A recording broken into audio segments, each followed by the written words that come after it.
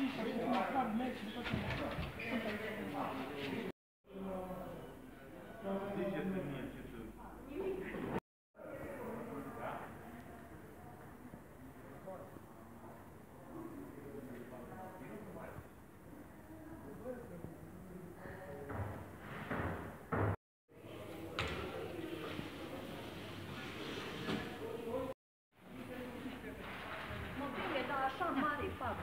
Și aici, Nu, nu, nu. nu? Acum e că s-a distrus hala și asta. Acum o să stăm până când o să vindem, o să ne meargă mai greu până... Păi și ne ce o să găsesc- faceți acum cu marfa? Păi încerc să o duc afară, să găsesc alte mese și să o pun acolo, unde... pe mesele care le găsim. Ne puteți spune câtă pagubă aveți? Păi încă nu știm. Acum o să vedem mâine, că e acum adunăm marfa, încă nu știm. Dar în orice caz, pagubă mare. Păi încă nu știm. Păi uitați că au căzut toată tavanul pe marfă, au distrus roșiile, Și unde veți vinde acum? afară, în hala cealaltă.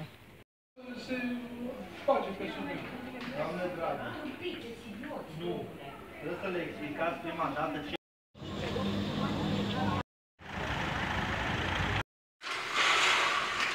Ce veți face cu oamenii care vând în hală?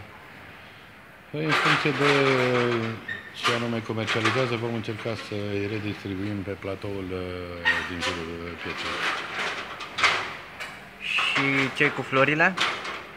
La fel, tot în perimetrul pieței vom găsi, am găsit deja două locații și vom încerca să, să-i mulțumim pe, pe toți.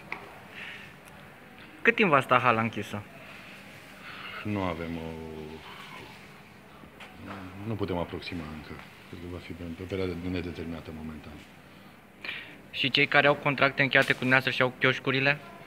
Uh, Le vom uh, suspenda contractele, e un caz de forță majoră și după aceea vom uh, încerca să le, le reluăm în funcție de durata de timp care, care va fi.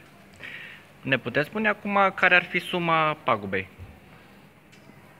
Totuși, scris și calculele mai estimative s-au făcut așa, în mare, undeva la peste 400. Ne-a spus 400. prima oară undeva la un miliard jumate cu aproximativă. Da, asta a fost ieri. Acum, la o primă vedere, a fost o comisie din cadrul primăriei în care am analizat toate pagubele, am fost prin toate locurile unde au fost avarii, iar uh, verbal, încă așteptăm uh, un calcul uh, exact, dar uh, așa, prima uh, vedere ar fi vorba undeva la peste 400-450 de mii de lei. Cine vă va ajuta să remediați problema?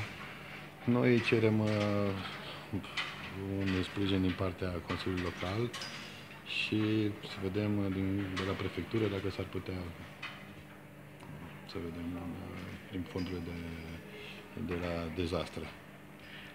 Am înțeles.